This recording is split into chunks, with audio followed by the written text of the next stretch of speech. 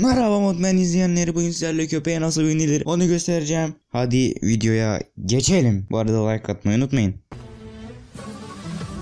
15 kişiye saldırdım Vurdum vurdum saymadım Vurdum vurdum saymadım Yumruk yedim durmadım Yere düştüm caymadım Öncelikle kurmak istediğimiz dünyanın düzenleş düğmesine basıyoruz. Sonra aşağı iniyoruz. Kaynak paketinden buradan mutant bilmem neyi seçiyoruz. Sonra aşağı iniyoruz. Buradan da mutantı seçiyoruz. Sonra oyna diyoruz ve kaynak paketleri kaydediliyor. Paket sunucu ile senkronize ediliyor diyor ve dünyamız açılıyor. Açıldıktan sonra hemen yumurtalar bölümüne giriyoruz ve burada değişik değişik yumurtalar var. Burada zombilerin mutant versiyonu aslında. Köpeğin de mutant versiyonu. Kurtun yani mutant versiyonu. Zaten mutantın videosunu çekmiştim o yüzden diğer hayvanların zombinin falan mutantını anlatmaya gerek yok. Yani dur barışçıldı oyun.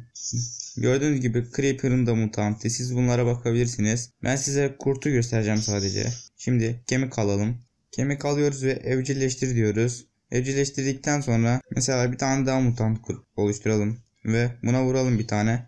Direkt bizim kurt ona dalıyor. Bizim kurt öldürdü. Nasıl biniyoruz peki? Üz- üzerine geliyoruz ve üzerine çık dediğimizde biniyoruz. Gayet hızlı da gidiyor. Gördüğünüz gibi diğer siz mutantlara da bakarsanız ne var ne yok. Ben sadece kurtu gösterdim. Başlıkta da gördüğünüz gibi kurta nasıl binilir, köpeğe nasıl binilir şeklinde sağ aşağıdaki kanalın simgesinden kanala abone olabilirsiniz. Bir sonraki videoda görüşmek üzere. Bay bay demeden önce e, biraz sonra o outro gelecek. O outro'daki videoyu da izleyebilirsiniz. Tavsiye ederim. Görüşmek üzere. Bay bay.